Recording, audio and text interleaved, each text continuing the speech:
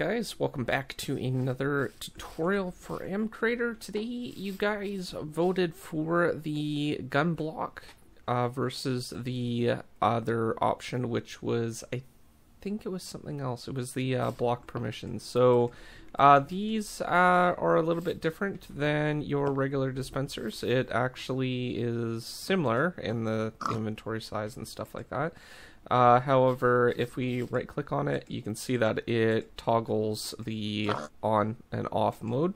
So basically when this is on like this, it basically indicates that it's going to be shooting. And when it's off, then it's not going to shoot. If you shift click, and then you can add some ammunition and stuff like that. So the slots are basically random from what I remember. Uh, so if we were to right click on this, it should start shooting. Yep, there we go. And it has a little cooldown delay as well. So, just wait again. Okay, I'm not sure. Sir, yeah, there's bullets in here. So it's just, um, it's choosing a random slot. And I believe if we go like this, then you'll be able to see what it's doing. And every so often it will shoot a random slot out. So it shot the arrow from this one. If we were to go over here and pick that up, now the delay for them are a little bit. Um, the delay for picking up is a little bit uh, short, so you might want to change that with the commands. But it is possible to pick them up, and um, you can shoot arrows, uh, the bombs. So as you can see, it's basically randomizing the different slots here. So there's it shot that one, that one, that one, that one, and it just shot these two again. So that's basically how that works. Um, and when it does actually hit something, it does a lot of damage too, right? So um, let's go into mCreator and then we will quickly take a look at the script before I get scared again from another bomb.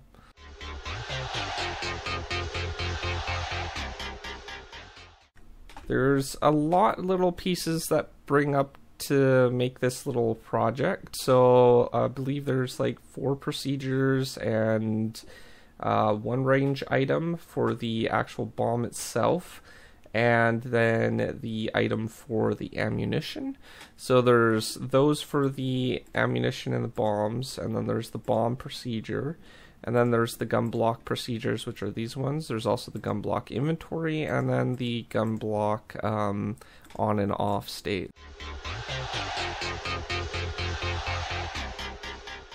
So we'll take a look at the inventory first.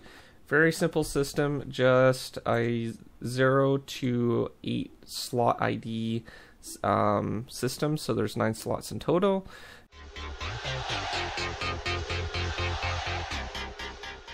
And then we can go on to the other one right here, which is the gun block off. So I have it set up so it supports the down, up, north, south, west, and east rotations for the player side.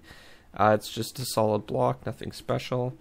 Uh, the block boundary is the exact same as default, and I've set the properties to kind of fit into the stone kind of area for the gun block. So it's kind of like a stone block similar to the dispenser or um, the uh, dropper as well. And uh, I don't think there's anything too important on this page uh, that is worth mentioning. All these settings are pretty much customizable. Uh, the pickaxe thing is custom, the hardness and resistance is custom, and I think that's about it. So that's it. And then I have the tick rate set to 1. This is important for uh, the script. So we set that to 1. We'll delay that through procedures and the inventory itself. Uh, the material, the block color on the map is set to stone. This will make it look like a regular stone blocks and stuff. The reaction to being pushed, because it has an inventory, I've set it to being blocked, so it will be very similar to things like dispensers, furnaces, um, chests, things like that. Uh, the it, it is it is a tile entity, so it will require this checkbox to be en- enabled, and our inventory is basically selected here. I do not have it to basically have a right click um, event for opening it. We do that through procedures itself, so it's a little more stable. And the slots uh, slot size is set to nine because we have nine slots in total and I have the rest of the uh, settings basically the default. No energy or fluid storage, and the only procedure for this one is on block right clicked, so let's quickly take a look at that. So what's going on here is if we basically are sneaking, and we right click, then what it's going to do is open up the blocks inventory. If we're not sneaking, then it's going to toggle on the block. So as we hover over it, you can see that it says basically gun block on. So this would be your on block for that. And it's going to keep the state of the rotation and basically the rotation of it. And it's going to keep the NBT inventory. So any items inside the inventory and any tags and stuff like that, it's going to basically keep. All right, so that's basically that. Uh, there's no other procedures here. Generation not enabled, so we don't need to actually do anything there. Just make sure to save, and that's good to go.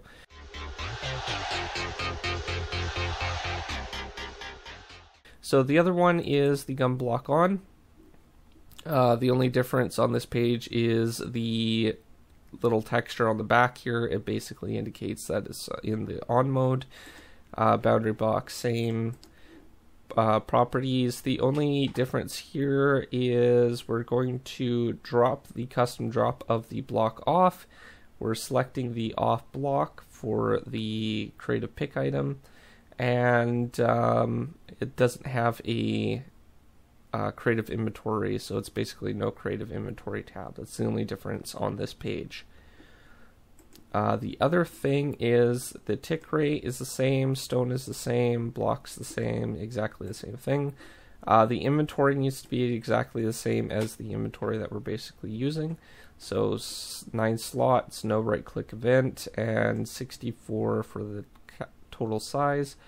Uh, both of these are default, and that needs to be enabled like the other inventory. Uh, energy and fluid doesn't use, and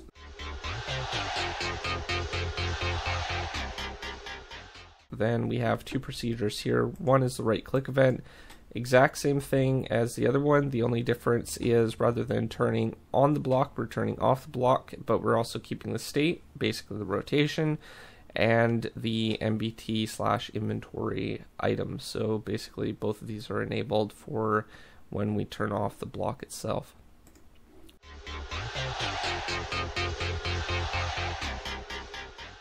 The other one is our update procedure uh, for our update tick, which basically controls the shooting mechanics and stuff like that. So if we open this up, we can see that there is uh, a shooting timer, which basically counts down from a select number. So our select number every time that it cycles is 100 ticks, which is, I think, about 20 seconds, if I remember, maybe 10, uh, 5, 5 seconds? Let me just quickly calculate that. I think it might be 5 seconds. 100 divided by 20 is 5 seconds, yes. So that's every 5 seconds it will count down and it will basically loop that system.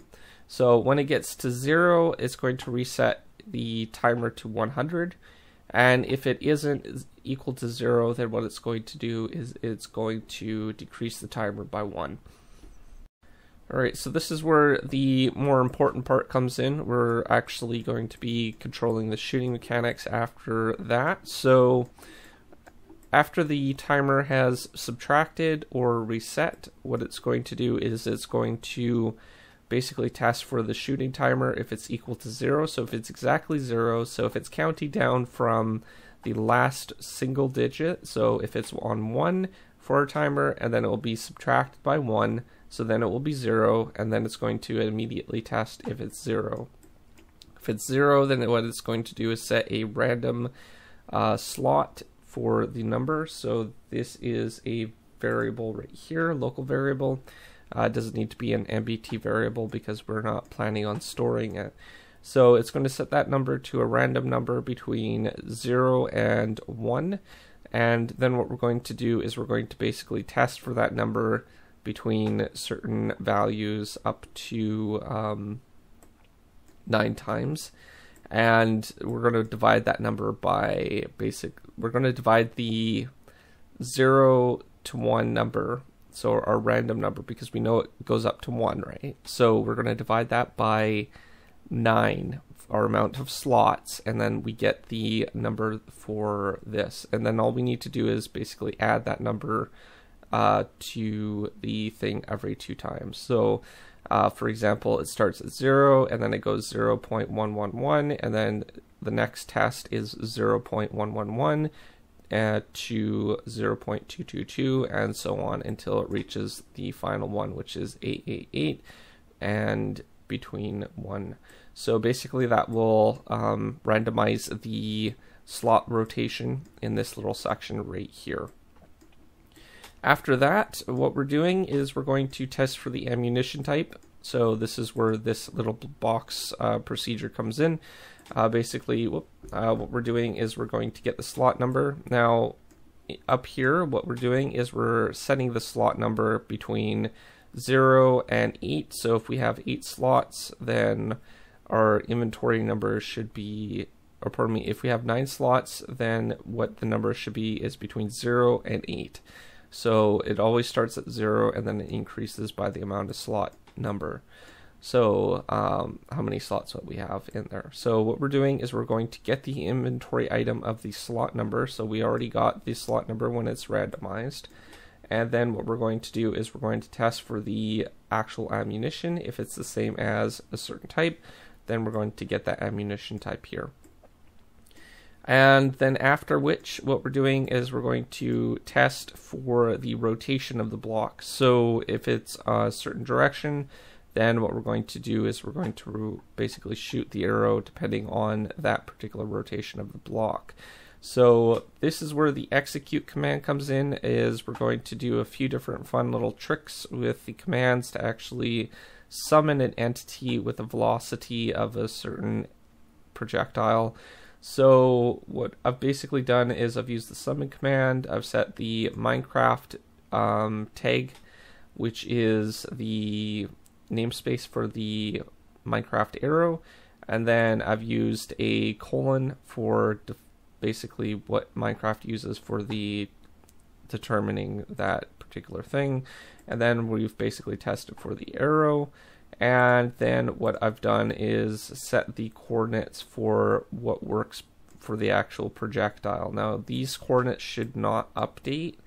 Uh, if you update it, it might have issues with your um, with you actually shooting the uh, arrow. It needs to be outside on the direction that it's shooting. If it's not, then it gets stuck in the block, and potentially, depending on how you set things up, it could potentially blow up you or um, the block if you have block uh, damage enabled. After which, uh, then there is the NBT for that particular entity. So that's between the curly bracket right here and the curly bracket on the end here. Now what this, uh, the first value does is it's basically setting the damage of the projectile. So because it's an arrow that has the damage that could be controlled, so it's uh, the value I set it to was 2 for damage, and then the motion is relative to the direction that the block is facing. So all that's set up by default. You shouldn't really need to adjust the the motion for the actual block other than adjusting the power of the actual value. So if you're adjusting the value, then all you need to really do is adjust the the number and um, that's all you really need to do for that. Uh, just make sure that you don't delete the, the subtraction sign if there is one, as it could mess things up. Now, the other thing down here is uh, pickup. Now, this is a general thing that you can actually do for arrows. I'm not sure about projectiles because the like the custom range items, I'm assuming it's possible. Um, however, with the bomb that I created, it blows itself up. So I'm not entirely sure if it's possible to pick up those items or not, but I did enable it anyways for custom items. Let me know in the comments if it is actually uh, works with the custom projectiles because I'm kind of interested to know. The other thing down here is the rotation. Now, the only thing with the rotation is it is a little bit buggy. Uh, as far as I know, this is on Minecraft side because if it was working with the um, actual execute command, it would probably spawn properly initially when it's actually summoned. And it normally does that most of the time, but uh, for some reason it's not um, working with arrows and other things like that. So I'm not sure if it's just a bug on M Creator or if it's more a Minecraft issue. I'm kind of leaning towards more of a Minecraft issue because mcreator also has issues with the rotation for that for quite some time now. So I have set it. It does turn eventually to its direction that it's being shot from, but it takes a couple seconds for it to basically shoot and rotate from the block. That's the only thing there. So that's basically all that's going on with that. Uh, these are all the different directions. This one is the down direction. Um, basically, what this does is it's the up and it goes from else. So basically, the only other side from here is down. So that's what else is basically doing.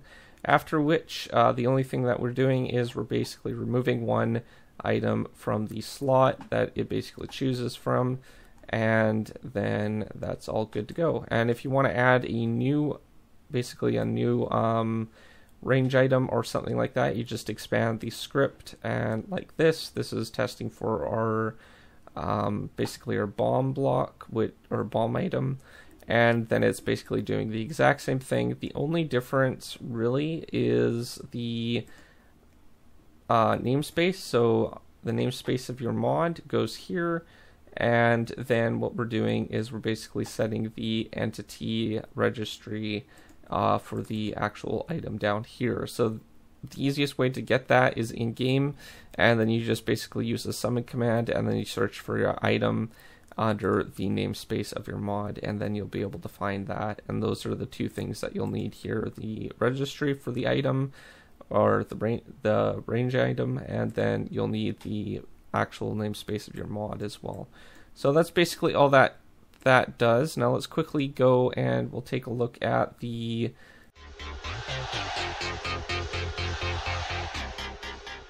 I believe this is the range item is no this is the actual item. So it's basically really a simple item uh, nothing too important. It's just a item for the ammunition. There's absolutely no procedures just a simple generic item